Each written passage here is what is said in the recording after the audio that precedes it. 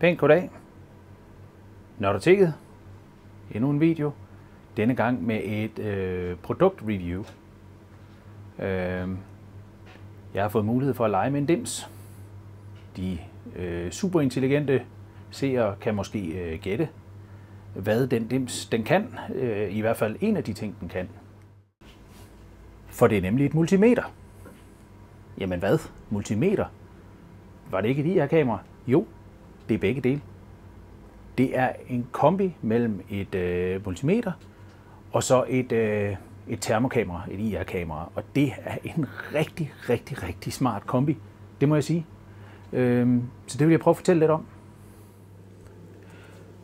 Først og fremmest så er det vigtigt for mig lige at øh, understrege, at øh, øh, når jeg anmelder et produkt, så gør jeg det, øh, fordi det er sådan, at jeg synes, det er fedt at lege med den her slags produkter, så jeg vil gerne snakke om dem. Og hvis der er nogen, der kunne have glæde af, af det her i forhold til, hvis de skal beslutte, hvorvidt de vil købe sådan en dims, jamen øh, så synes jeg, det vil være fedt. Jeg får ikke noget øh, for at gøre det her, øh, så det her, det, det er min ærlige mening. Jeg kommer med, der er ikke noget øh, pakket ind, øh, der er ikke nogen penge med, mellem mig og, og Flug. Øh, det vil jeg bare lige understrege. Så øh, jeg synes, Flug generelt laver nogle fede instrumenter, så jeg har nogle stykker af dem, øh, fordi jeg godt kan lide dem. Men øh, det her det er altså det er neutralt i den forstand, at øh, det er min personlige holdning. Den er ikke købt og betalt. Så, øh, så er det på plads.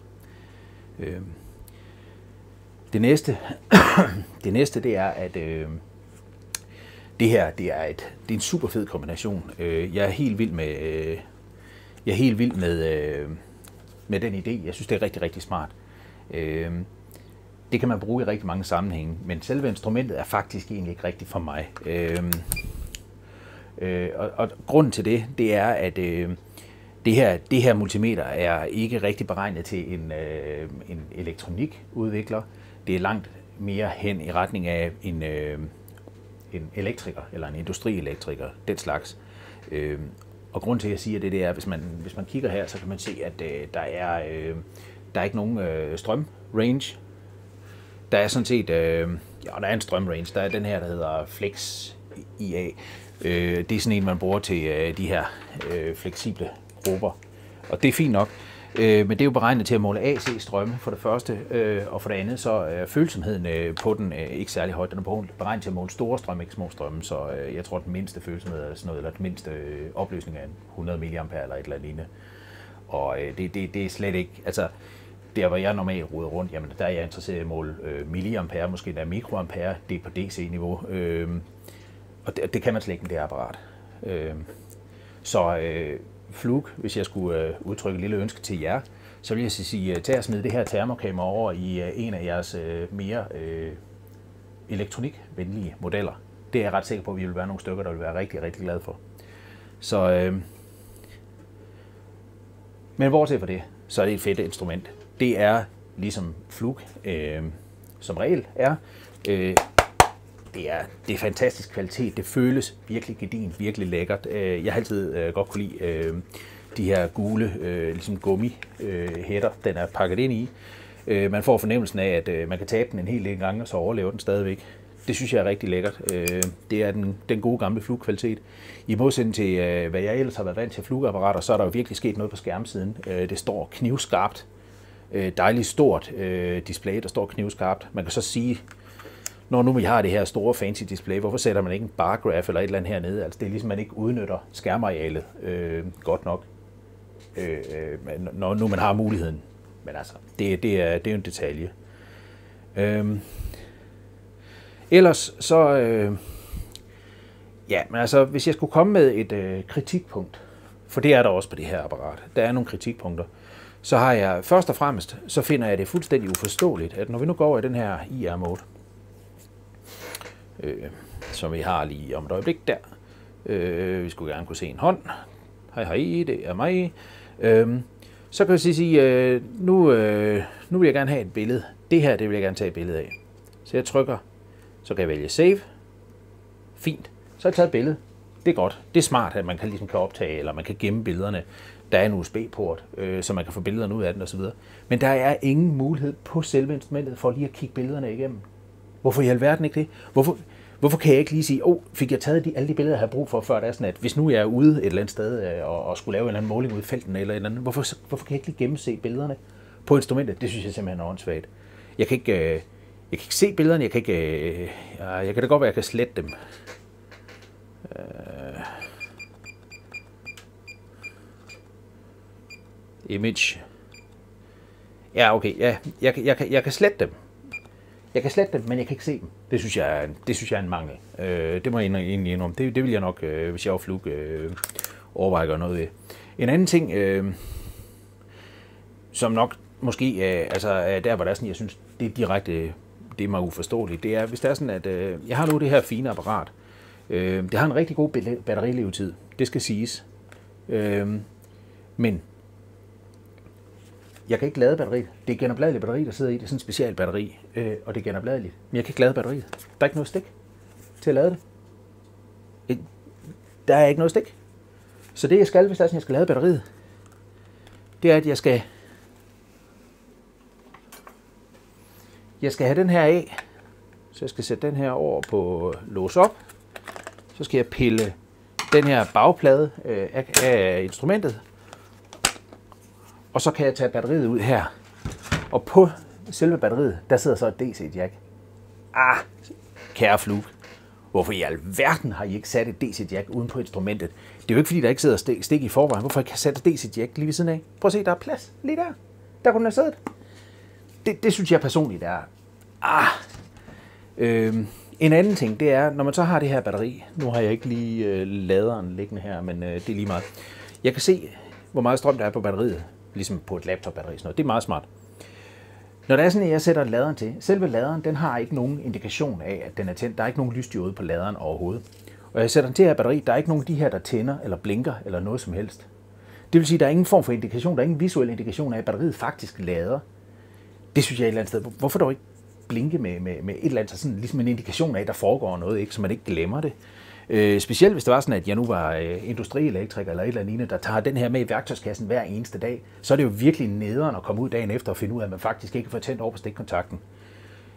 Det er så mere en detalje, men lige præcis det der med, at man slet ikke engang, altså man skal decideret skille instrumentet ad for at komme til at lade på batteriet, for at komme til ladestikket på batteriet, det, det synes jeg sgu ikke, øh, det, det har jeg svært ved at se det smarte i.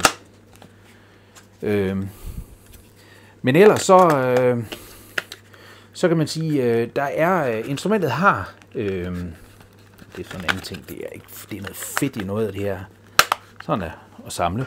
Øhm, vi kan som sagt få billederne ud øh, igennem USB-porten. Det kræver et specielt stykke software på en, en Windows-maskine. Det er en anden ting, som jeg har sådan... Når nu vi har et USB-stik, hvorfor så ikke øh, lade, simpelthen lade instrumentet mounte som et USB-drev? Jeg er glad Linux-mand for eksempel, øh, og har egentlig ikke rigtig nogen Windows-maskiner, øh, sådan, hvis jeg kan slippe for det. Øh, hvor, hvorfor ikke give mig mulighed for at downloade data fra instrumentet, øh, bare ved at mounte instrumentet som USB-drev? Hvorfor skal, det, hvorfor skal jeg tvinges til at have en Windows kørende, hvor jeg skal installere noget proprietær software på, bare for at få, få, få nogle billeder ud? Det synes jeg også er sådan... Det, det, det, kunne de godt gøre, det kunne de sgu godt gøre bedre. Øh, Instrumentet hedder 279 FC. FC det står for Fluke Connect. Øhm, og det er, det er den her fine knap her, den er går ud på. Øhm, det er faktisk en øh, Bluetooth-forbindelse. Øh, det vil sige, at, der er sådan, at jeg kan installere en app på min øh, mobiltelefon. Jeg tror ovenikøbet, jeg har den installeret et eller andet sted, hvis jeg kan finde den. Hvis jeg kan finde den. Connect.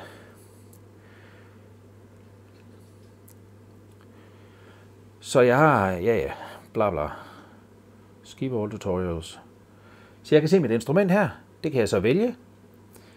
Og så øh, snakker de her to sammen. Og med lidt held, yes, så kan I se, øh, så kan man faktisk øh, se øh, øh, en måling på, øh, på, på, på selve instrumentet. Og det er faktisk meget smart. Specielt, man kan sige, det kan man jo godt se, det her, det er ikke, øh, det her det er ikke et instrument, der er beregnet til en glad amatør som mig. Øh, det er meget nemt at se, at øh, de har øh, tænkt... Øh, de har tænkt professionel brug ind i det her. Det vil sige, at man kan faktisk dele sådan nogle målinger øh, med andre brugere af appen, sådan så man kan, for eksempel hvis man sidder og roder med et eller andet ude i et eller andet produktionsanlæg og ikke forstår, hvad fanden der foregår, så kan man tage fat i mester og så sige, mester, prøv lige at se, hvad jeg ser her. Øh, hvordan skal jeg fortolke det her, eller et eller andet. Det synes jeg er meget smart. Øh, billederne, man tager med den her, de kan komme over på ens mobiltelefon øh, igennem den her trådløse øh, forbindelse osv. Det, det, det er sådan set også meget, øh, meget smart. Man kan optage måleserier og sådan den slags ting.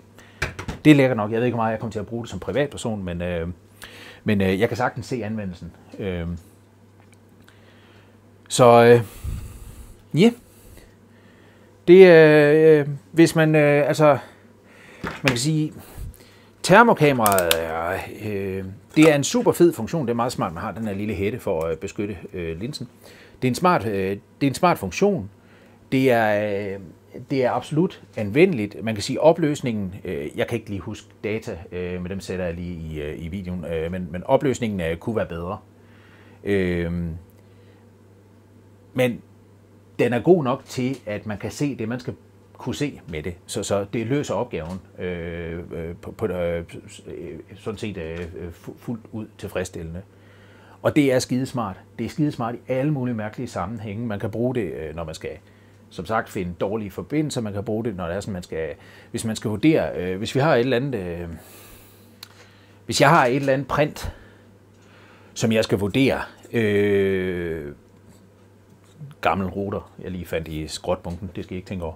Øh, hvis der er sådan, jeg skal vurdere, øh, om, om øh, der er et eller andet, altså hvis der er noget ustabilitet på, på mit produkt, eller et eller andet, så kan jeg termografere mit produkt, og så kan jeg se, fordi altså normalt den klassiske metode, det er, at man sådan lige, man lige sådan rører med, med, med, med oversiden af lillefingeren, og så kan man sådan der, hvor man, hvor man råber af, der er det ved at være lige lovligt varmt.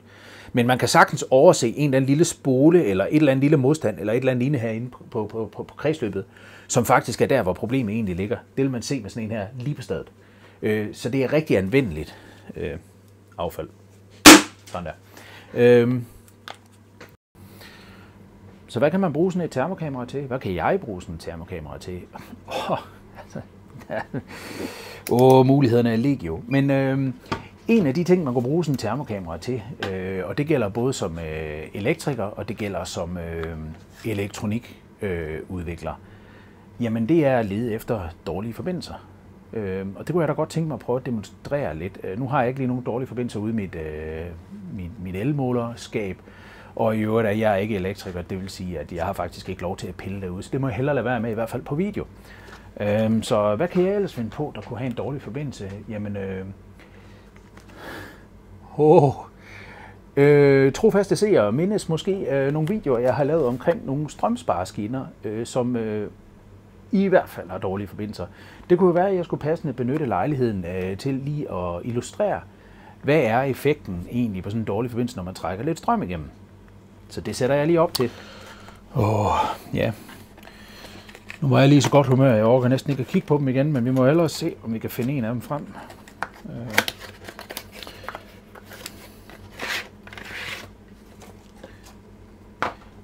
Det var ikke kønt dengang, og det er den jo nok heller ikke blevet i mellemtiden.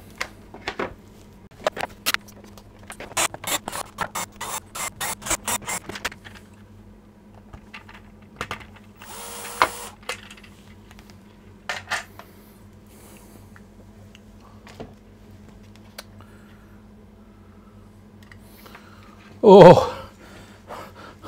oh, hvor er det grimt. Jeg var lige kommet mig.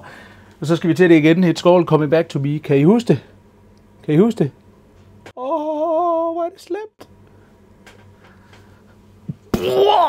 Nå, øhm, jeg, kan, jeg må kaste op senere. Øhm, jeg tror, jeg vil sætte op til, øh, jeg tænker, hvis vi nu gør sådan her, Jeg må jeg kunne lave et eller andet setup her, sådan, så der er sådan, at vi filmer. Og så, øh, så må jeg lige, øh, jeg skal lige have fundet et eller andet. Jeg tror, jeg har en gammel elkedel. Øh, den passer sikkert meget godt øh, med, øh, til, til at kunne øh, trække, trække godt med, med strøm igennem. Og så må vi se. Så.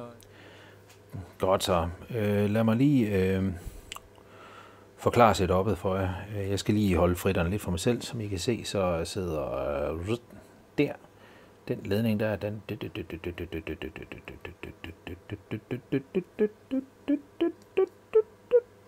Der går den ind i. Så øh, den er nu levende. Der er strøm på. Øh, og der er det der første øh, stik, det er sens-stikket, så det er det, der ligesom gør, at relæ klikker, og så trækker strømmen. Øh, så der sidder en lampe i, den viser jeg lige om et øjeblik. Og så har jeg, øh, oh, undskyld, der, ja, det første stik, ikke? Og her har jeg så min elkedel siddende. Så jeg har en elkedel, den har vi der. God gammel elkedel, den tager nok et par kilowatt, kunne jeg forestille mig, når den går i gang. Og den er allerede tændt, men der er ikke, øh, den er ikke i gang, og det er fordi, at der er sådan, at den anden ledning, den går hen til, til den her lampe, som sidder lige her. Så hvis jeg prøver at tænde for den, så kunne I se, så kom der lys i den her, og så går den i gang. Så lad os prøve at tænde for den her, og se om det er sådan, at vi kan se noget spændende.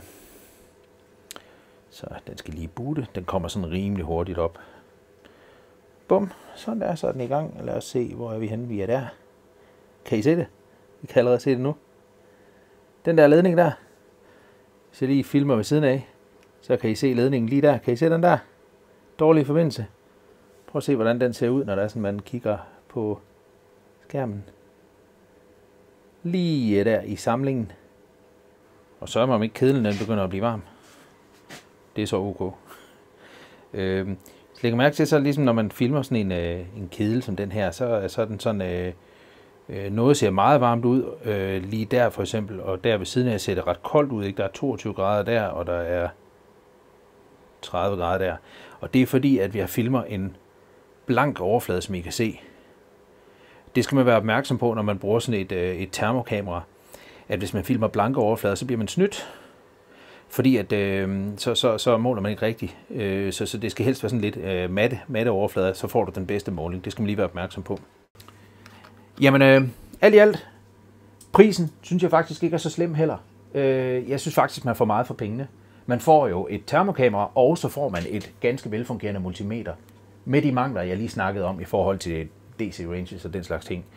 Øh, for jeg mener det er omkring 8.000, så vidt jeg husker. Øh, det, det, er faktisk, det, det synes jeg faktisk egentlig er, øh, altså når man påtænker, at det er et, et virkelig højt kvalitet produkt, så, øh, så synes jeg faktisk, at man får meget for pengene. Så øh, anbefalet, hvis man er til den slags.